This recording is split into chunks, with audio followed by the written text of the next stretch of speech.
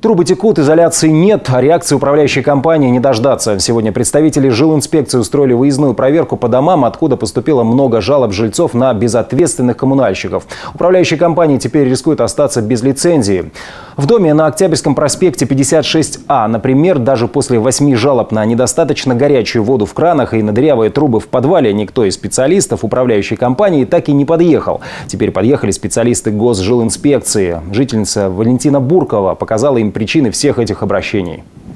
Вот этот стояк идет в мою квартиру. Вы видите, в каком он состоянии? Вы видите? Тут изоляции практически нет.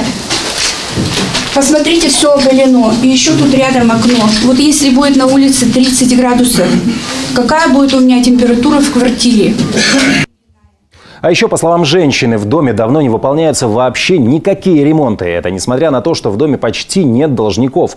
Жилищные инспекторы заявили, что такое поведение управляющих компаний недопустимо. По данному случаю в ГЖИ уже заведено дело, проводится проверка. А специалисты сразу предупредили коммунальщиков, которые в ответе за этот дом, им пора готовиться к штрафам.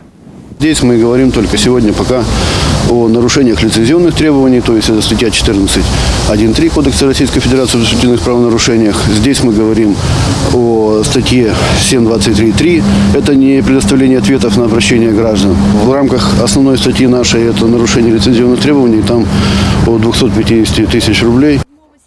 Отныне такие публичные выезды специалисты государственной жилищной инспекции пообещали устраивать регулярно. А еще предупредили работников управляющих компаний, которые забывают выполнять свои прямые обязанности о том, что за подобное многократное нарушение они будут лишены лицензий, то есть больше не смогут заниматься управлением жилфонда. Кстати, активность гос госжилинспекции в этом году действительно выросла. На днях стало известно, что арбитражный суд по заявлениям инспекторов уже отобрал лицензии у 19 компаний. На рассмотрение у судей уже есть новые претенденты на вылет.